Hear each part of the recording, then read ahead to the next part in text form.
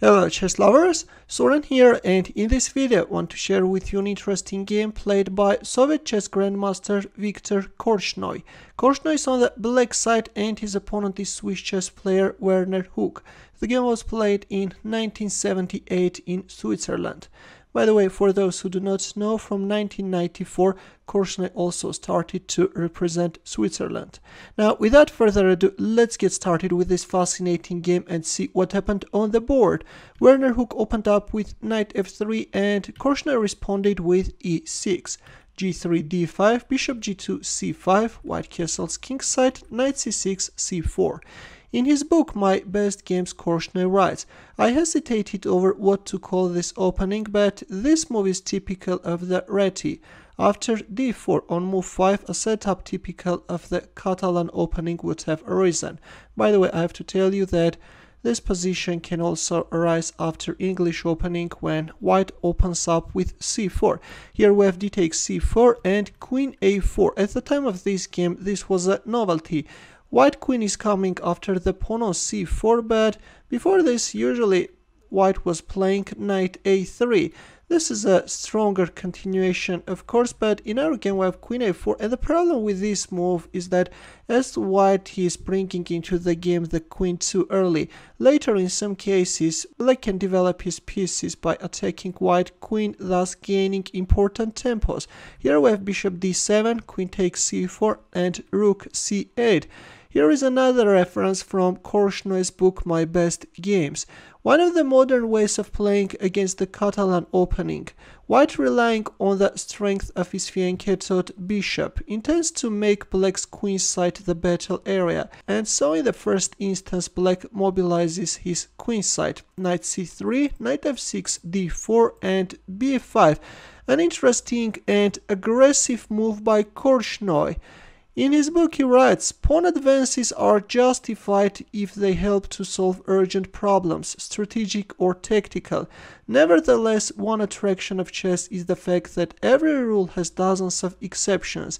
Here white played queen d3, but let's also take a look at queen takes b5. Then after c takes d4, black is getting a pretty nice position, no problem at all, but the line which drew my attention starts with knight takes b5. In this case, black can start using the vulnerability of the knight on b5 and after rook takes b5, knight e5, now that threat is knight takes d7 and then bishop takes a5 but here black can play knight b7, queen takes a7, c takes d4, knight d3, knight d6 Uh, according to engine, this position is equal, but from afar all this looks very scary because black has an extra piece, but according to the engine, these passed pawns on the queen side allow white to equalize the game, but in our game after b5 white chose a safer queen d3 continuation. Now comes c takes d4, knight takes d4, knight e5 and now white's prematurely developed queen is forced to return home. Queen d1. Here we have queen b6, bishop g5, bishop e7, rook c1, black castles king side, knight f3, in here we have the exchange of knights on f3, rook d8 and queen b3. Well, an inaccuracy by white, it was better to play bishop e3 and then knight e4. But in our game we have queen b3 and the problem with this move is that after b4, white is forced to move back his knight on b1, an unpleasant choice of course when you are moving back your knight on its initial square, but after b4 instead of knight b1, which is the best continuation in that position, Werner Hug played knight e4, which allows black to go for some complications and gain advantage. Here Korchnoi captured on e4. Actually, this was a simple blunder, and I'm honestly surprised that Werner Hug made that knight e4 move. Here all white could do was to capture on e7, rook takes c1, and rook takes c1. Rook takes c1 is virtually forced, otherwise if bishop takes d8, then queen takes f2, check is coming with a mate to follow, or if bishop takes e4, then rook c8. Again, black is winning, that's why in our game we have rook takes c1, and there it goes, queen takes f2, check is on the board. King h1, rook c8, now white has to be careful because there is a back rank weakness.